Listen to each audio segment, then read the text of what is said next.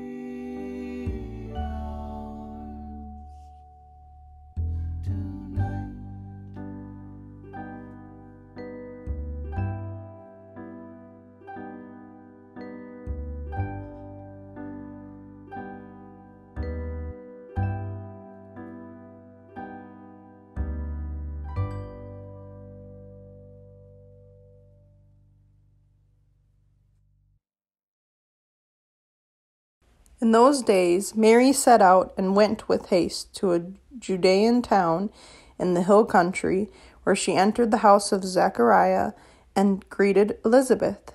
When Elizabeth heard Mary's greeting, the child leaped in her womb.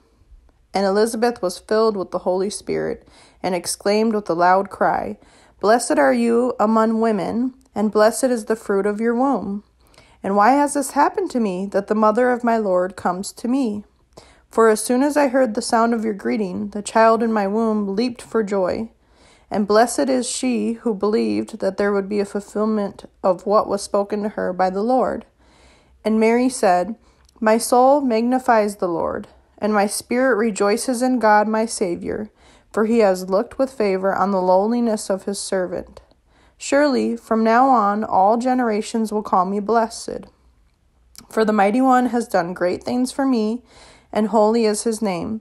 His mercy is for those who fear him from generation to generation. He has shown strength with his arm. He has scattered the proud in the thoughts of their hearts.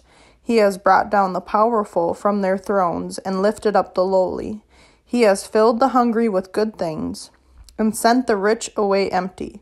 He has helped his servant Israel in remembrance of his mercy, according to the promise he made to our ancestors to Abraham and to his descendants forever. Stir up your power, Lord Christ, and come. With your abundant grace and might, free us from the sin that binds us, that we may receive you in joy and serve you always. For you live and reign with the Father and the Holy Spirit, one God, now and forever. Amen.